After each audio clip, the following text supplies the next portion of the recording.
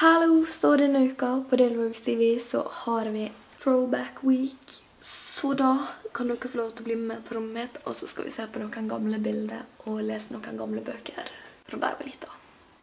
Snakes. Jeg tror vi begynner med denne her.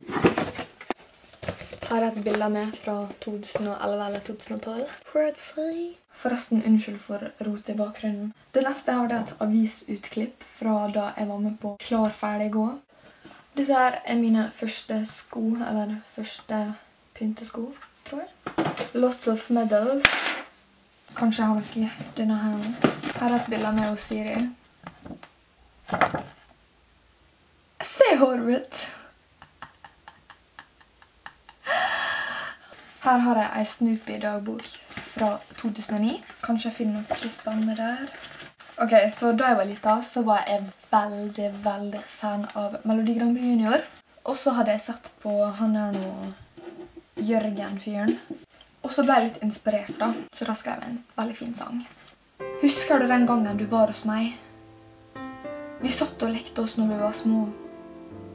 Vi skjønte ingenting og skravlet i vei. Ute var himmelen blå. På kvelden sa vi farvel. Jeg savner deg. For vi var kjælevenner. Vi støttet alltid hverandre. Men den siste dagen før du dro, trodde jeg det ble oss to. Var ikke den fin? Jeg skrev en annen en også. Jeg hadde mange venner. De var snille mot meg. Men hun ene hun var helt spesiell.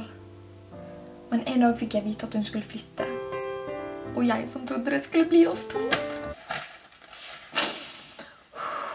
Så den siste tingen jeg skal vise, det er denne dagboka her nå, fra 2011.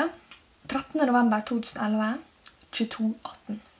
Dødssliten etter en lang helg med overnatting. Har lyst til å sove nå, men jeg får det ikke til. Gruer meg sånn til tysk og matteprøve i morgen. Wish me luck.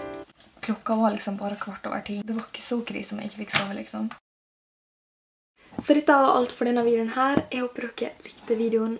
Og ja, vi snakkes veldig snart. Ha det!